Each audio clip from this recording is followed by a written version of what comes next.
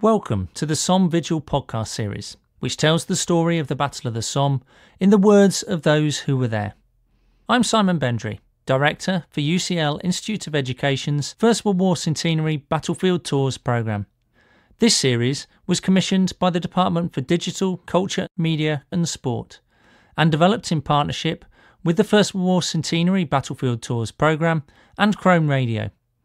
It was first released to accompany the Somme 100 vigil at Westminster Abbey, held through the night of the 30th of June and into the morning of the 1st of July 2016 to mark the centenary of the Battle of the Somme. In this podcast, an officer in the Royal Field Artillery writes home to his mother.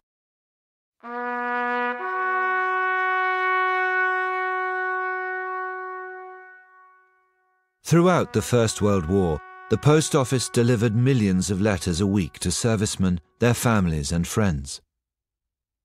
Major Reggie Tompson was born in 1886. He joined the Royal Field Artillery in 1900 and was a major by the time of the Somme offensive.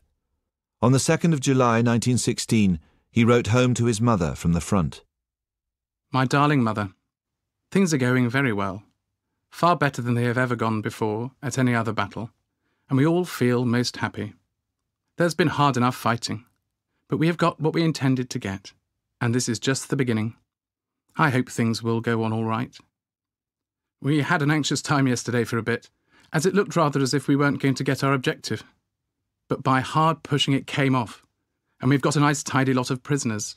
It's wonderful how these mount up. Little parties of 20 or 30 at a time turn into quite a nice figure. Unlike Loos, we have at present hung on to all we have captured, and all night and today has been spent consolidating what we have got. There are, again unlike Loos, large numbers of German dead all over the shop, so we are altogether very pleased. I think the Boche had a very nasty knock yesterday. I've been this afternoon over the craters and the line generally. A most eerie feeling. Standing up in the open and looking over the ground we sort of squinted at through chinks for so many a month. I walked over the ground where the trenches were. It was like alpine climbing. Not a trace of trench anywhere. It's almost uncanny. We must start burying the dead tomorrow.